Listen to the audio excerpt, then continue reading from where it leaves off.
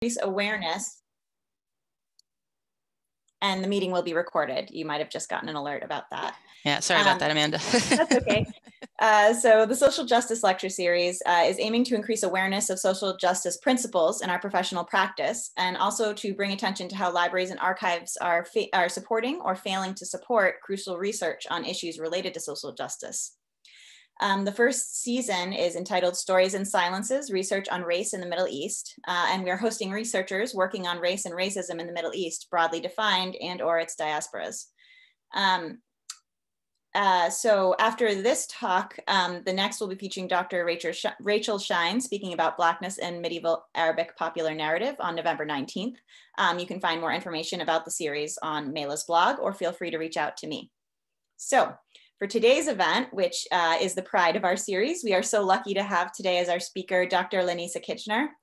Um, Dr. Kitchiner started as Chief of the African and Middle Eastern Division at the Library of Congress at the beginning of August.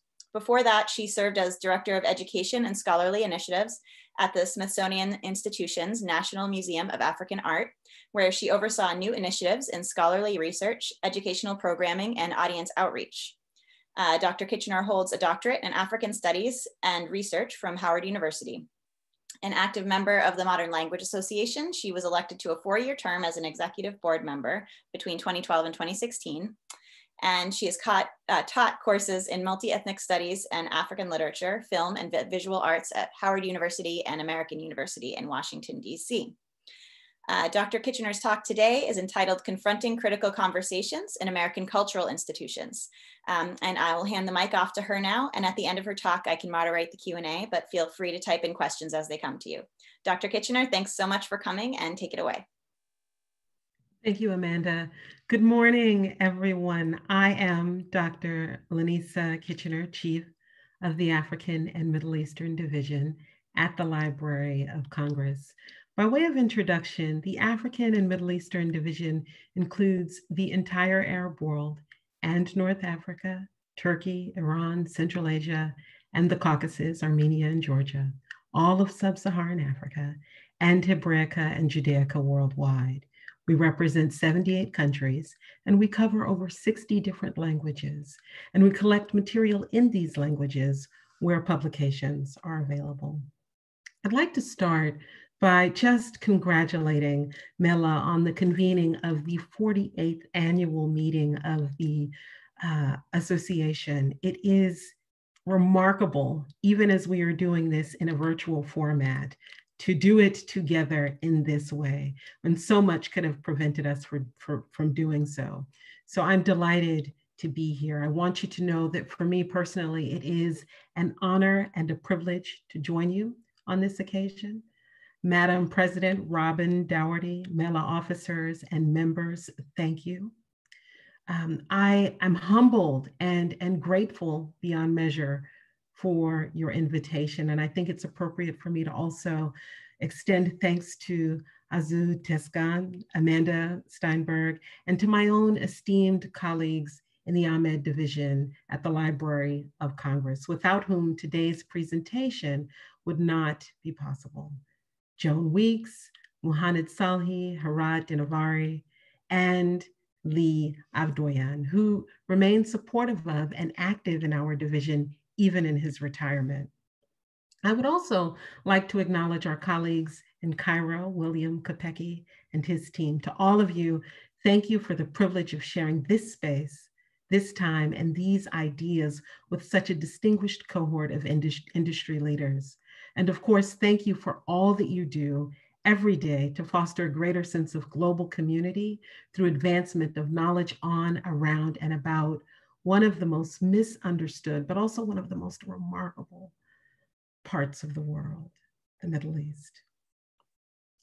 I'm excited to join with each and every one of you, librarians, curators, scholars, foot soldiers, and forward thinkers on the front lines of our field, confronting some of the most difficult issues of our time, issues that have for far too many centuries crippled the essence of our humanity and stained the fabric of our societies.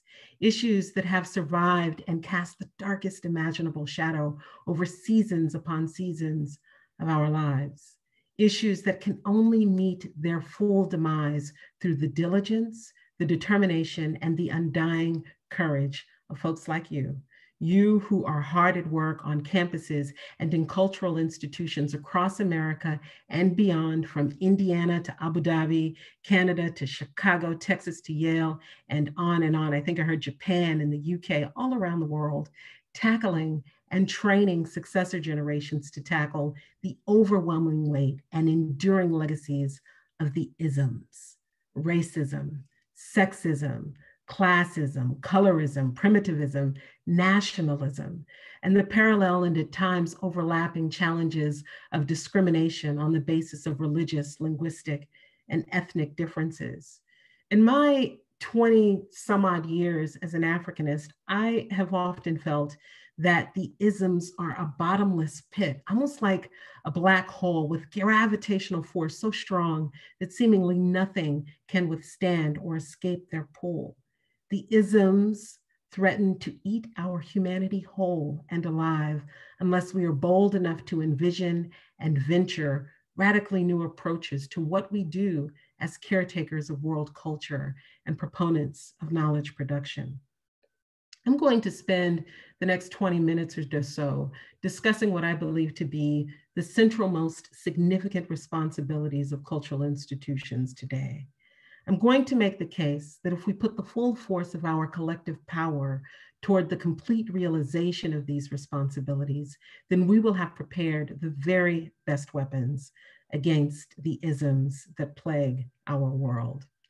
Now, I can share at the onset that for me, it's not necessarily instruction, interpretation, or inference that is our charge. Instead, ours is a twofold responsibility to ensure inclusivity and to engender radical curiosity. Engendering radical curiosity means feeding and fostering the natural instinct to, to inquire so that it is not simply an impulse, but an insatiable appetite to explore the unknown. And it strikes me as interesting that the genius of humankind has found ways and is unafraid to explore unknown worlds like Mars, Venus, Mercury, Jupiter, and the moon, and that it has discovered in these spaces rocky terrains, moons made of ice, gas filled planets, and more that each new discovery invites us to delve even deeper in search of more, that these discoveries feed our wildest imaginations, inform our popular culture, and inspire unbelievable innovation.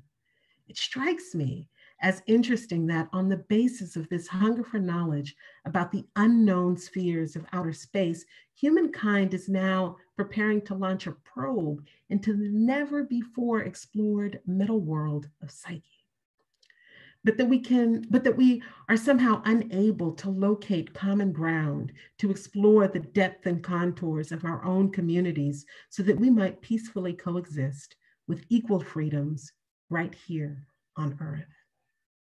I wonder you know, if we can probe the unknown metal world of psyche which is nearly 200 million miles away from our earth's outer surface can we not also probe the unknown worlds of our own humanity? For me, one of the greatest challenges before us as principals responsible for stocking the reading rooms of our world is to create in our patrons, our patrons an incessant desire to look even more closely, to listen even more deeply, to read even more widely, not necessarily in search of answers because answers suggest a sense of finality or a sense of conclusion. No, the idea here is to, to foster such insatiable thirst and desire and, and hunger for curiosity, uh, such that the process of seeking understanding is dynamic and everlasting because we don't know what we don't know. And stopping short when we think we found comfortable solutions leaves us vulnerable to overlooking the hidden histories, peoples, and cultures of the world, which in turn leaves us vulnerable to duplicating long-standing and problematic habits of erasure, habits that are breeding grounds for either knowingly or inadvertently perpetuating harmful prejudices. Permit me to pull from the field of visual art to illustrate my point. I'm going to take a second to try to share my screen. If you could just bear with me for just a second here. I can do this without glitch. Can you, can you see my screen here? I want you to take a peek at this image. Um, and let's just see for just a second. I want you to hang on to this image and I'm going to return to it in just a second, but I want it to sit for a minute. The title of the image is What Don't You See When You Look at Me? And it is um, a photograph by South African photographer Zanele Muholi. What don't you see when you look at me? I'm gonna stop sharing for a moment and maybe come back to that image uh, in just a second as I speak through it um, for just a moment here. I don't know if I'm, am I still sharing my screen? No, you're, you're good. Okay, all right. So for me, Zanele Muholi's image and the question and it, in it that it raises, what don't you see when you look at me, uh, is it's just a remarkable illustration of the essence of the dilemma that I'm attempting to, to discuss this morning. The image depicts a scarred, black skinned forearm alongside a midriff covered with a white top, a black belt, and a gray bottom.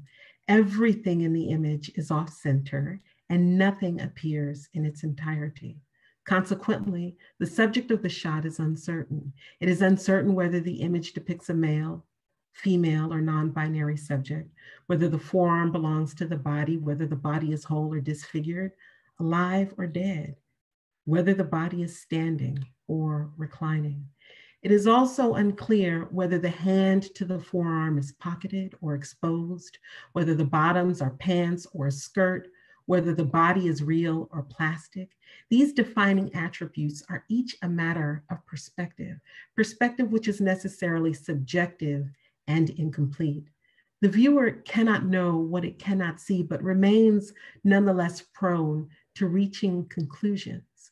The power of the image, therefore, emerges from what is shown as much as it does from all that is out of view.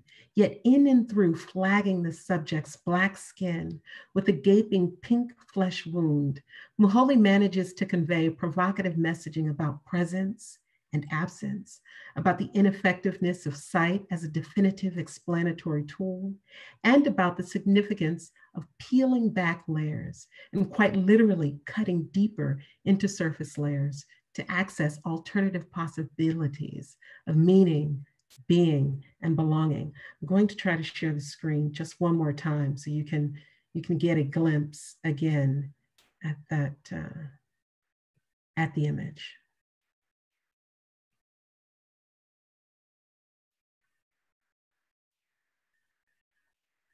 Everything is off center.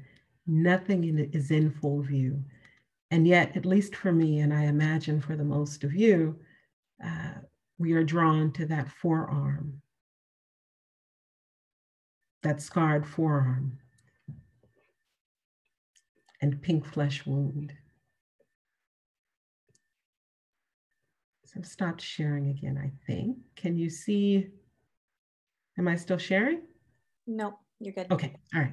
So the title of the photograph, What Don't You See When You Look at Me, is as provocative as the image itself. It not only challenges viewers to confront their assumptions, but also to examine the image from an alternative angle that privileges recognition of the unknown instead of perceived expertise as a starting place for understanding. It exposes the impossibility of knowing it all as it offers opportunities to probe the self and the other in equal measure. The image captures and reflects the rhetorical qualities of its title, And the title provides a plain answer to the question it posits, which is you don't know what you don't see when you look at me because you can't. You've got to dig deeper and deeper still. It is in and through radical curiosity that we will discover the undiscoverable, that we will learn to hear the silences of the oppressed and weave of those faint whispers stories that can help us to better understand and appreciate the beauty, the richness, and the diversity of our humanity in all its complexity. We do not know what we do not see when we look at Muholi's photograph, just as we do not know what we do not see when we look at each other. But if we commit to engendering radical curiosity and undying curiosity, then we can rest assured that someone somewhere, perhaps one of us, will help us to see curiosity and radical curiosity, in fact, radical curiosity. And the discoveries that are born of it are our lifeblood. The other critical role of cultural institutions today is ensuring inclusivity. Ensuring inclusivity means doggedly pursuing and insisting upon equitable representation of content, style, and perspective in our collection development strategies. On the surface, this seems simple enough. Follow the tenets of the Library Bill of Rights, collect books and resources for the interest, formation, and enlightenment of all people, provide materials representing all points of view, challenge censorship. Challenge censorship. However, there is a great distance to travel on the road between conceptualizing inclusivity as a necessity and actually achieving it. Ensuring inclusivity means probing the boundary conditions of our field, grappling with and overcoming deeply embedded structural challenges that shape and inform our work, from our collection practices to who we hire, who we serve, who we promote, and how. Ensuring inclusivity means doggedly pursuing equitable representation of uh, content, perspective, and style. It means ripping off the band aid, as it were, to expose, redress, and fill the gaping holes in our collections and in our thinking. It means breaking down silos and working and seeing across the aisles. It means being the person in the room who is unafraid to cry foul ball, but it also means doing the deeper work of putting forth constructive and actionable solutions that don't alienate. And for people like me who may often find themselves as the first or the only in the room with the seat at the table in a position of influence, um, it means mustering the courage to bring our whole selves in authentically and confidently. Ensuring inclusivity means breaking down barriers and building bridges to achieving the highest form of togetherness, of humanity. And so, as this marks the 75th anniversary of the Near East section at the Library of Congress, it seems befitting for me to reflect upon and draw inspiration from the section's work in this critical area of inclusivity. Our greatest contributions to engendering curiosity and ensuring inclusivity is evidenced in our collections. For example, we've made great efforts to collect the works and publications of a variety of marginalized communities. Examples include the Kurds in the Arab world, Iran, and Turkey. We've been collecting Kurdish works for decades, and many of these works uh, were published abroad because they were not publishable in Kurdish homelands. These publications, whether newspapers or books, could have been published in Egypt, where very few, if any, Kurds live, as well as in Sweden, Germany, and other parts of the Western world, but they are now available at the Library of Congress. Another example is the Assyrians we collect in Aramaic, whether from Iraq, Iran, Syria, Lebanon, we also have works from the Amazigh of North Africa. In fact, we are one of the only institutions that collect materials published in the native tongue of the Amazigh, Tamazight. Now, we should keep in mind that refugees are also discriminated against, and this could include refugees in Arab worlds, Arab, Arab refugees in other parts of the Arab world. An example here is the Palestinians, one of the oldest and largest refugee populations in the world. Many countries in which they, the Palestinians live, many countries in which the Palestinians live are in fact um, places with refugee camps for Palestinians that do not allow Palestinian people to have the same rights as would others. In Lebanon, for example, a Palestinian cannot buy a car without a, a Lebanese person vouching for them. This vouching is the equivalent of a cosigner. So, as you might imagine, um, published works on these experiences um, are hard to come by, but they are collected and represented in the works at the Library of Congress.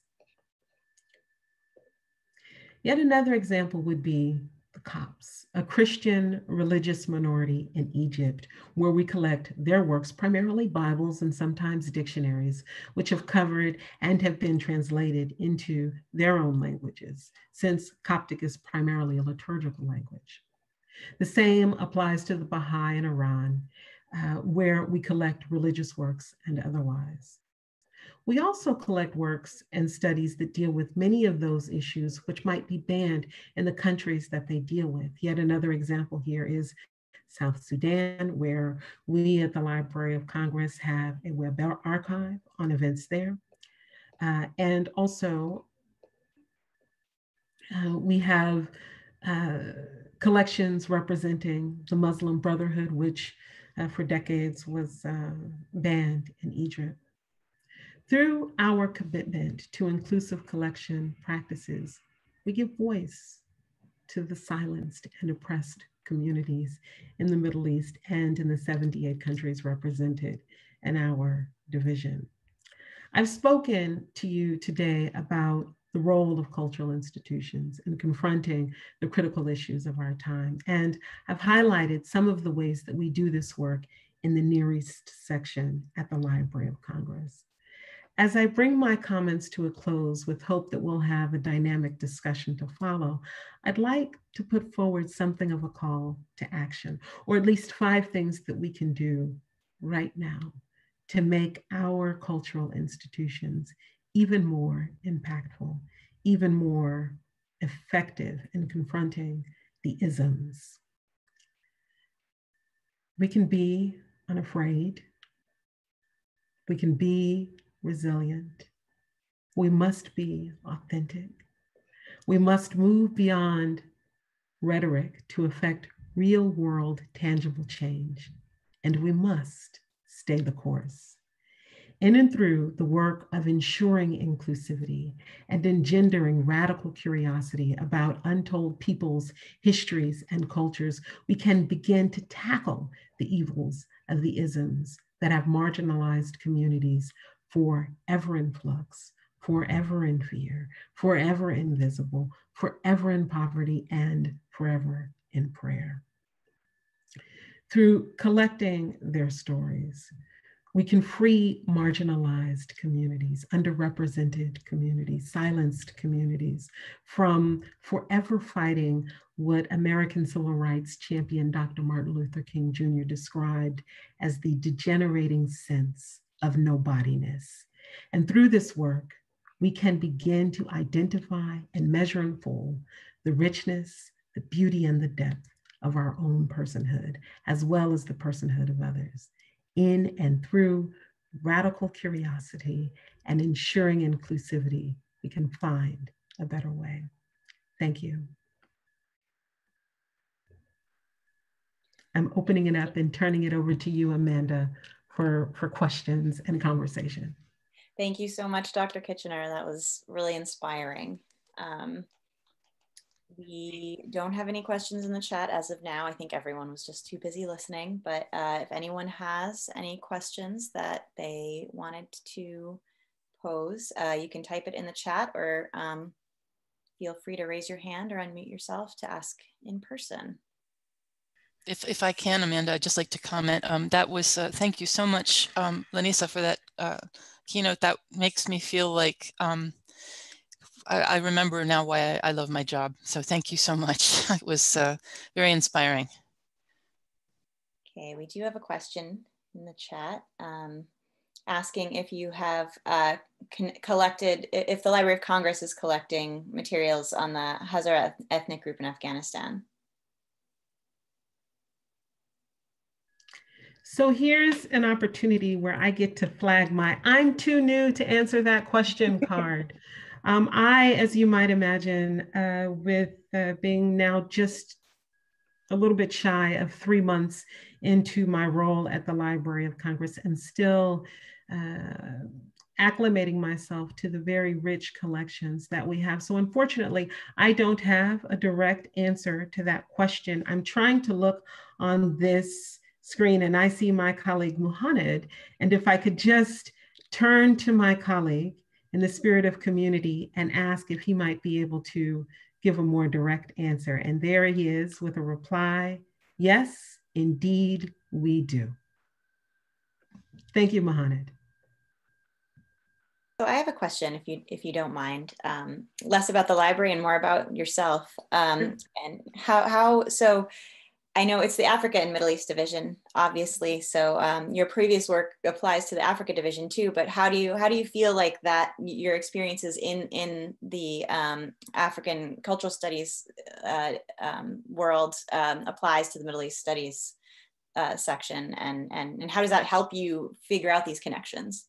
Yeah, it's a very good question, and I tell you, it's one that I appreciate. When I initially received the invitation, I thought, geez, I'm an Africanist. What on earth can I say to a community of scholars, curators, and librarians of the Middle East? And then I had to check myself. Uh, and I had to check myself because, as we all know, the connections that uh, exist between the Middle East and Africa and the world writ large are long and deep. And one of the greatest challenges that I think we have to overcome as scholars in the field, uh, particularly in and through our scholarly associations and our cultural institutions, is breaking down some of those barriers that force us to think in very limited terms. The Africanist is the Africanist exclusively. Um, and this isn't to say anything about the unique uh, distinctions in our respective fields, but if we go back far enough, what we will find is two things. First, that Africa is the birthplace of humanity. And so there is quite a bit that we can learn about ourselves and the longer history of humankind in and through that lens. But also that if we move even forward into the present moment of our time, that nothing exists in a vacuum. In fact, what we are doing is playing in a broader field of area studies where there is at times a spirit of competition, but so much more that can be achieved through collaboration. Um, you know, when I think about the African Studies Association and I think about the uh, Middle East Studies Association, these are born of the same general period, right? When we think about, um, you know, uh, the collection uh, at the Library of Congress. I mean, one could argue that the collecting of material from the Middle East dates back to Jefferson's Quran um, and uh, the, the purchase of it, the acquisition of it, uh, the Library of Congress. But we can, we can, we can fast forward to, to, to the 60s um, you know, the very late 50s into the 60s, where we see, you know, following, um, well, actually, we can go to 1945 um, and beyond after World War II, where we start to see this widespread focus, at least in the United States, on area studies programs, partly because of the strategic imperative. Now, we've shifted beyond that strategic imperative to look at cultural uh, um, concerns. And if we are talking about culture, then we must look at these cultures and communities in historical context. And that brings them right back together again. So, in answer to your question, Amanda, what does my background in history as an Africanist uh, have to have to offer uh, to understanding about the Middle East? Well, I would say everything, just as everything about the backgrounds of all on this conversation can help to inform understanding about Africa. Thank you. Um, so we did have another question asking about um, ideas or what the best way you think is to advocate for underrepresented groups in collection development policies specifically. You know, it's a good question. Um, in my own experience, and I'm drawing from time now at the Smithsonian Institution, um, it re- I'm going to try to answer this question in the best way I can, making it applicable to the library. Um, what I often find is that we've got to make the case for what we're collecting, get it through a review committee, and get it signed off on. But in the process of making that case, in the process of justifying what we collect, why, and how, I think we've got to first start with as is implied in the question, our policies, our policies around collecting. Now, I'll give an example here. When I was at the Smithsonian Institution, um, we had a broad charge to collect in African art writ large. And it took one brave soul, one of our curators, who championed well, first, they took the time to understand our collections and then took the time to realize the gaps in those collections. And the gap was that there was a gross underrepresentation of women artists and an even grosser representation or misrepresentation, underrepresentation of Black women artists. And in and through understanding the gaps and the weaknesses, that remarkable curator was able to bring to the senior leadership the proposal, but really the case to make the case for why it was necessary to adjust our collection policies in that area so that we could have a more inclusive collection of, of works um, to include women and particularly Black women artists. And in and through that work, that curator helped to change the course of our exhibition strategy and our exhibition program going forward. So I think more specific uh, to the question, which I'm reading again here in the queue, is what is the best way to advocate for the underrepresented groups in collection development policies? I would say know your collection know your collection, study it, and make the case, a compelling case for why we need to fill the void. The truth is, as I've said in the presentation, we don't know what we don't know. So we're reliant upon those of you who may know, who may have a better sense of understanding to help those of us who are blind to see. Thank you for that answer. Um, so next question. Um, so what role do you envision for the division and for the Library of Congress more generally in terms of national leadership? That's a good question. You know, I envision a Library of Congress and more particularly an African and Middle Eastern division that is meaningful and relevant and representative of you know just the american society in which we live. You know when we think about national leadership and we have to be mindful that the library of congress is um, the national library but it is also the library of congress. So it's it's something of a delicate walk in the sense that we are not necessarily taking a stance on the materials that we um, collect the materials that are housed in our collections, but we instead our, go, are going deeper and wider and collecting even more so that it is accessible to the widest imaginable communities uh, possible. And through making those collections accessible, through creating platforms for conversations around those collections, we thereby have, I think, an even more significant presence on the national stage. we're the go-to place, uh, along with our colleagues and peers who are on this call at other libraries around the world for brokering these critical topics.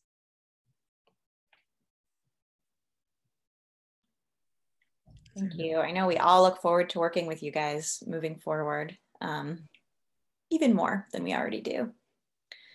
Um, any more questions that anyone has?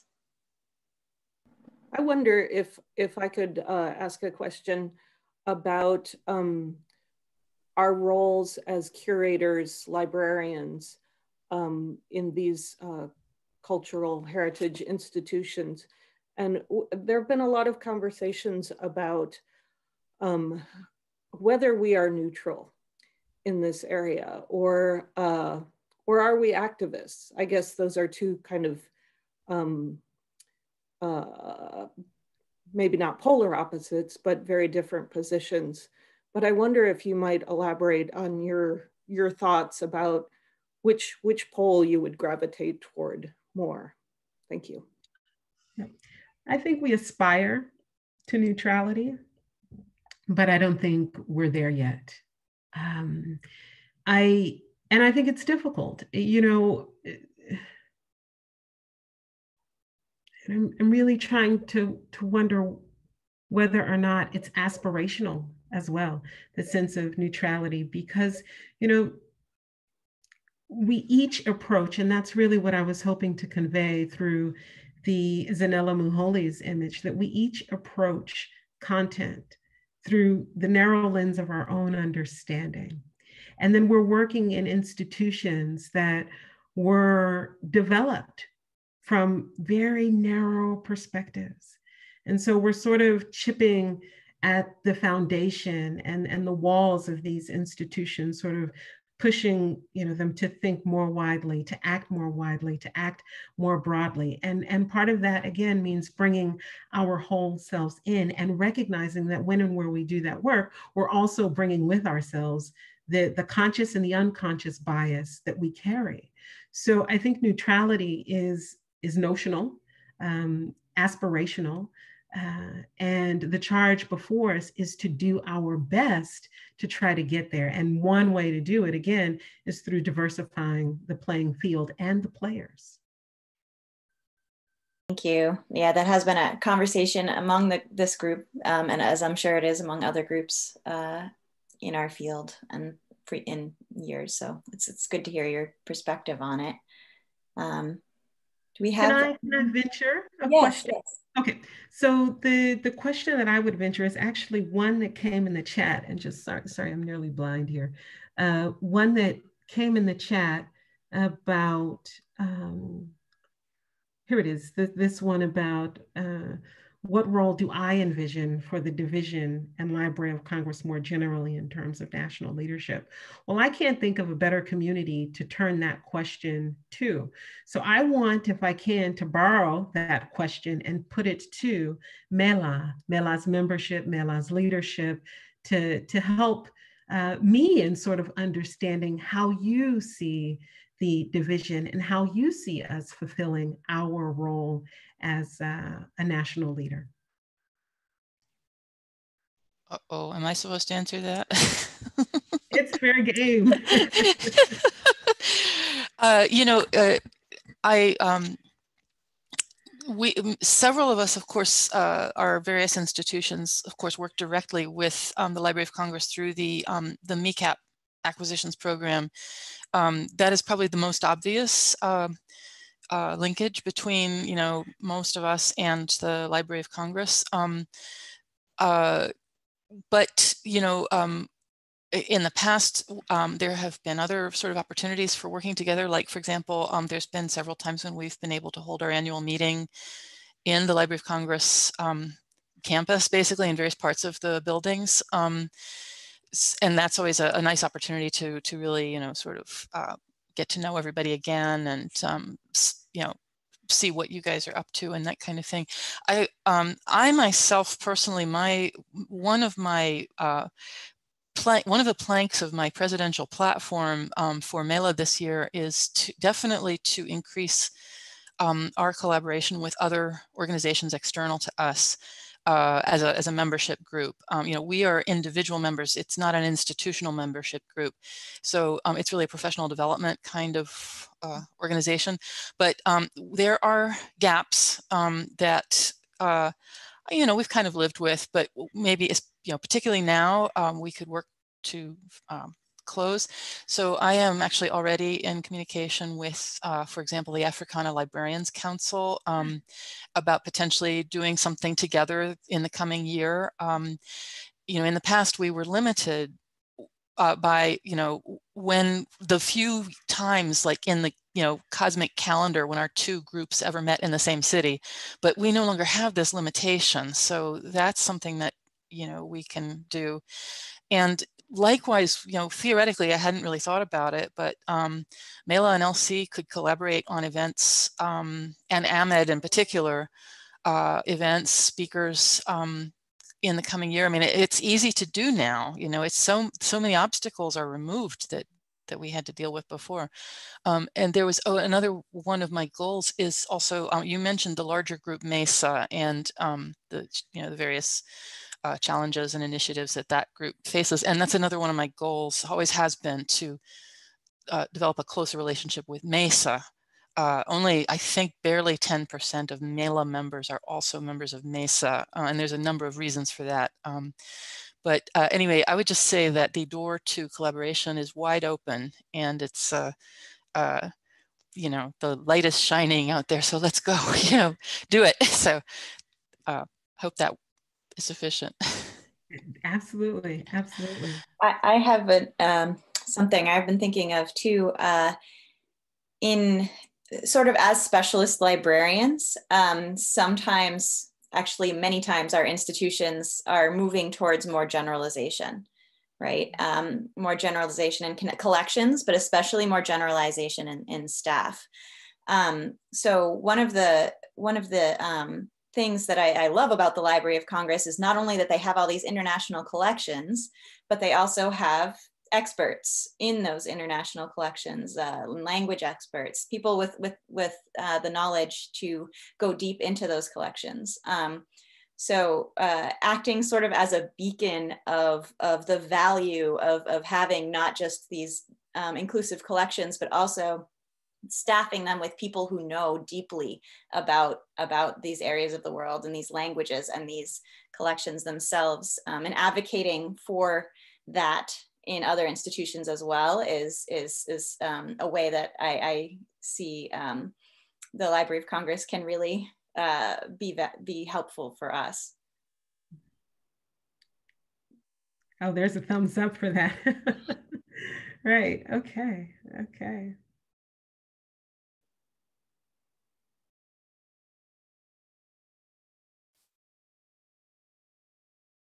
Ah, okay, I second. I'm reading the chat now. I, I, I suppose everyone can see it, but me too. I second what Amanda is saying. Great, and thanks a lot. All right. Well, uh, Amanda, are we at time or? Yes, I was just going to say we might have time for one more question if anyone has anything, but otherwise, I think we can all take a coffee break before the next session. Um, not to discourage anyone. If there is one more question, feel free. This might be a comment more so than a question, but I really enjoyed uh, the artwork that you shared. And I think that something that I drew from it is that when we don't see the whole picture, what we focus on is hurt and scars and hardship and things like that. And I think that that really applies to the study of the Middle East. And I know in my education, um, everything is about conflict and you know, whether that's military conflict or political conflict, it always comes down to conflict.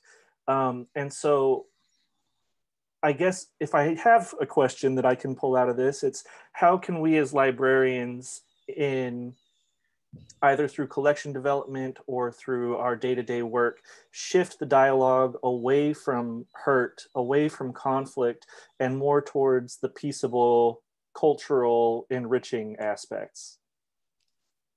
Jeez, that's, I mean, I feel like if I could answer that question, if we together could answer that question, we've got a Nobel laureate prize waiting for us. I mean, I, I really, I feel like that's that's that's probably the elephant in the room, and it really is about shifting the dialogue. You know, shifting the dialogue, the discourse of despair to you know one that really is more celebratory. And I, I, I mean, I, I, guess in some ways I'm echoing um, Joshua, your your your sentiment here, and I'm doing it from a place of um, not answering the question, but rather sort of saying, let's join together and find an answer together because I really don't know.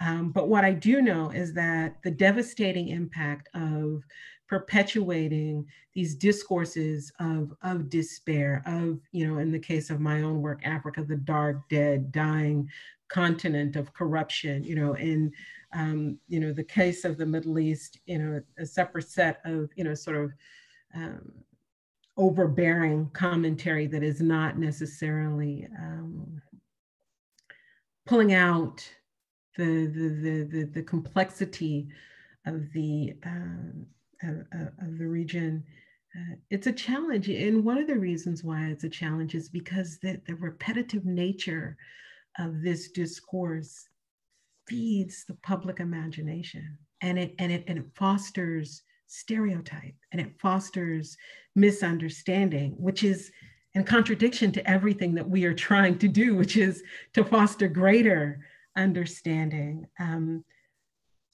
I, I, don't know the answer to your question, but what I do know is that the work before us is to find it. The work before us is to continue to publish, to p- continue to speak, to continue to create platforms, sometimes platforms in places that uh, aren't um, you know the, the most ready stops on our journeys in the field. I mean i think part of what we do in the field is we speak often to each other about each other. Uh. and and and we we for all intents and purposes might know each other better than others know us. And so part of i think the challenge to sort of breaking down uh, uh, the, the, the discourses of despair is to to have more conversations in more places with more people in broader ways. Uh, and that means, you know, diversifying um, uh, not only our platforms, but also um, what we're pushing and where. I mean, this is a little um, uh, perhaps too reliant on, on, on, on pop culture, but, you know, I have to say that film, uh, The Black Panther, you know, that, what is it, Disney Marvel film, uh, The Black Panther, did so, so, so, so much to help create an alternative image of what Africa could look like. Now it's a, you know, a,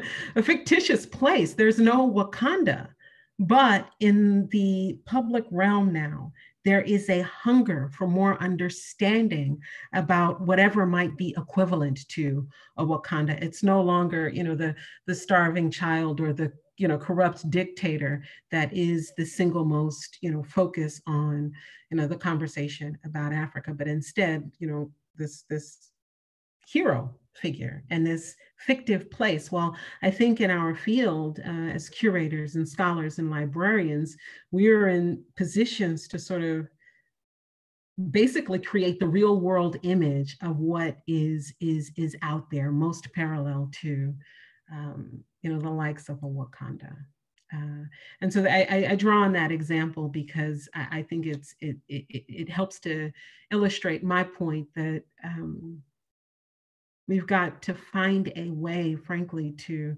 demystify the language of scholarship and put it in the hands of as many people as possible in as uh, wide a variety of ways as possible.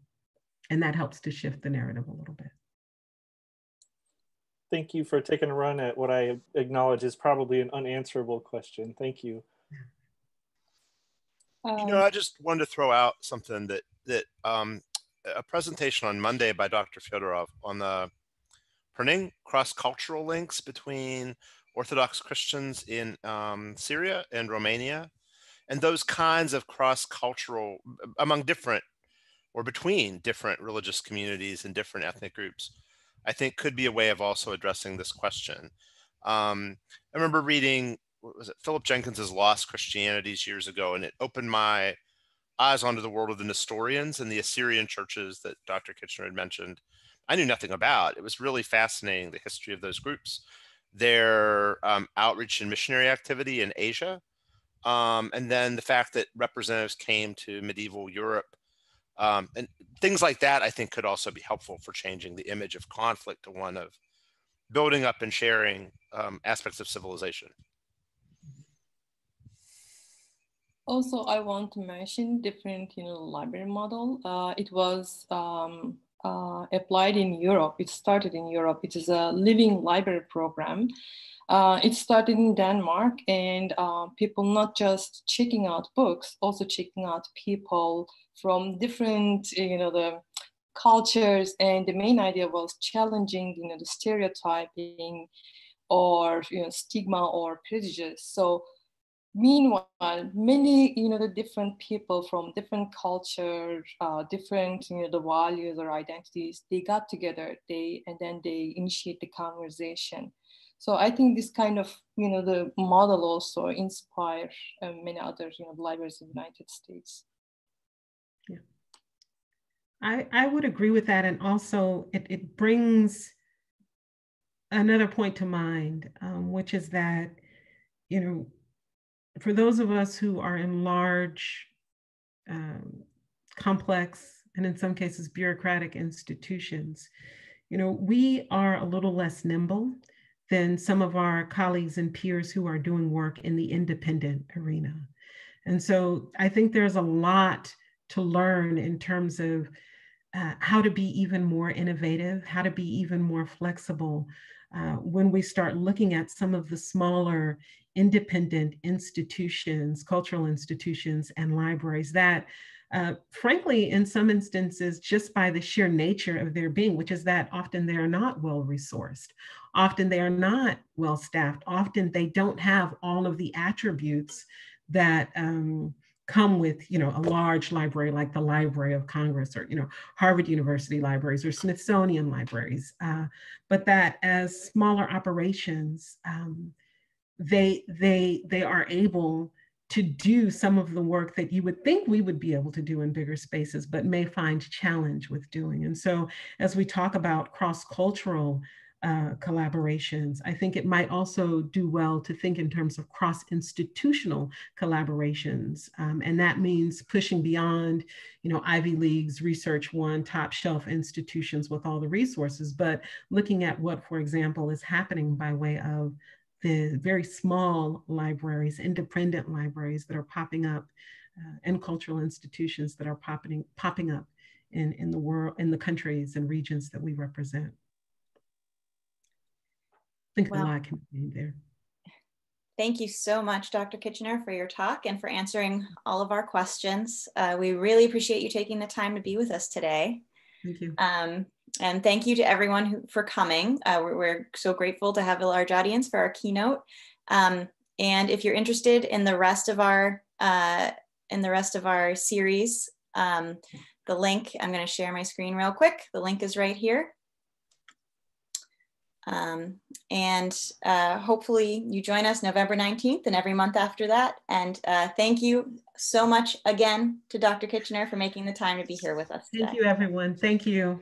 Yeah, and I want to add my thanks at the end here. And um, just to remind everybody that we will begin again at 12.15 um, with, uh, we will continue with our uh, program on social justice and decolonization of the library. So I hope to see you all back after you've had a chance to freshen up. So um, thanks very much again, Dr. Kitchiner. Um, this was terrific. Uh, we were just getting warmed up. I'm so sorry to, to cut it off, but um, we will have time to continue the conversation. So thanks again. Thank okay. Thank see you. you. All the best, everybody. Bye-bye. Bye-bye. Bye-bye, everyone.